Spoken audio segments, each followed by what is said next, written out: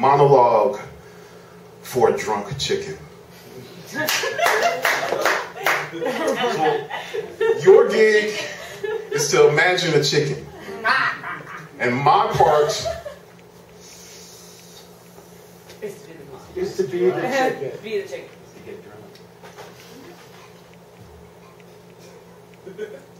is yeah, is to see uh, if I yeah, if I could read this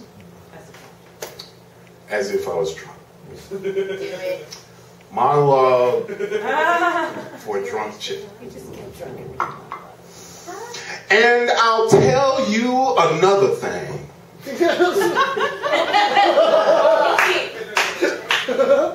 Everything you know is a lie. And all your efforts have been wasted. I got more sense than you when I'm asleep. I can tell more truth than you can, and I have only the suggestion of a tongue.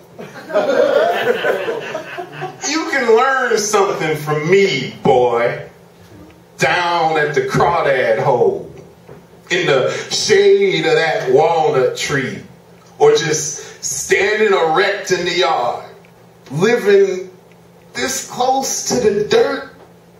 I got no reason to lie. What's your excuse?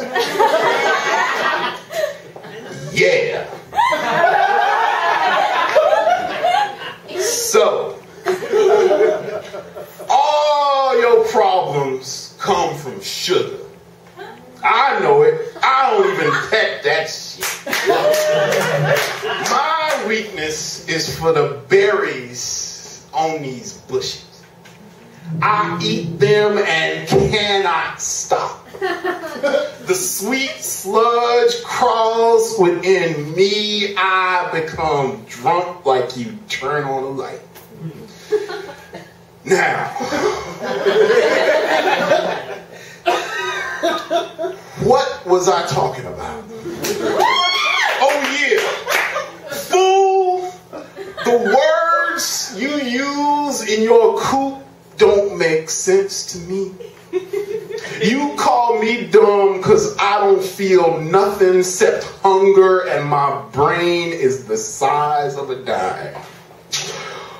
Well, fuck you and kiss my chicken ass. I believe in God. I believe in love. But you,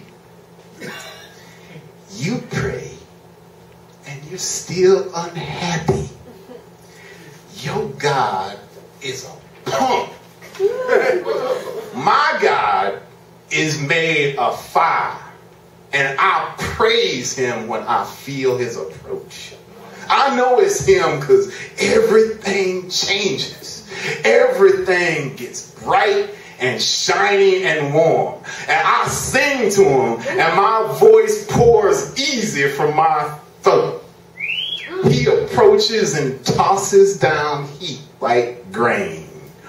What does he give you except reasons to cry?